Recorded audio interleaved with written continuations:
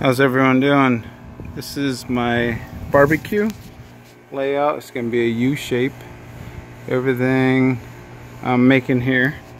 Just want to show you guys how easy it is to make a steel stud barbecue.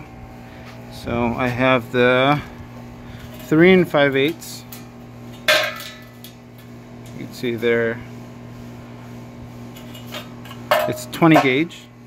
I picked it up um, at my lo local drywall shop.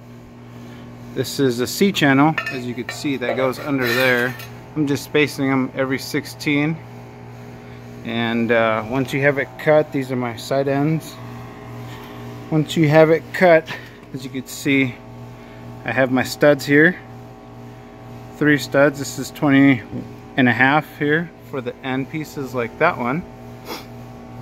All you do is you use the channels for the top and the bottom as you can see there.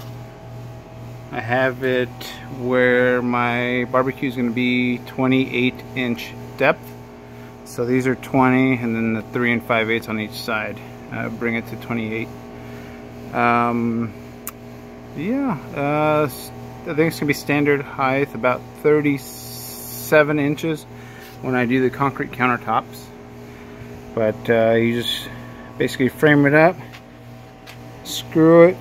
You add the corner braces like this one has and uh, you just kind of brace it. Uh, just to square it off I still have to shim it. I have a fall on my concrete so I want to make sure that this is level before I set my forms for concrete. Um, but uh, I just wanted to show everyone that uh, there are pre-built options but uh, I found this a lot cheaper. I think I bought all the metal here. Uh, I think it was about 200 bucks. Screws three bucks of screws. I have a grinder that I'm using just to cut off wheel uh, to cut everything.